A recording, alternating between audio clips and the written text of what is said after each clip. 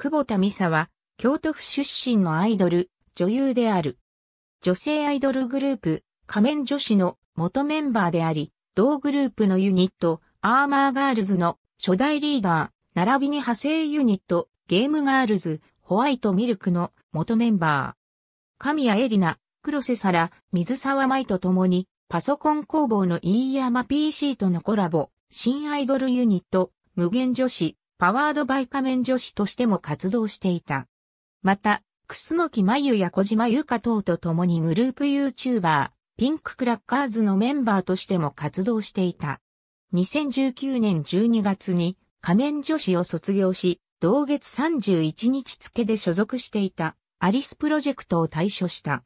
アリスプロジェクト退所後は女優としてソビネクストに所属し、舞台出演などの活動を行っている。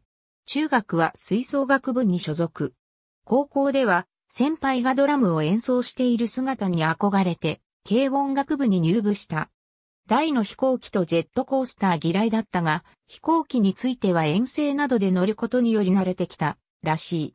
状況から2018年頃まで事務所の寮に住んでいた。また、お部屋アイドルとして、マスメディアや YouTube などで取り上げられ、寮の部屋が紹介されることがあった。ありがとうございます。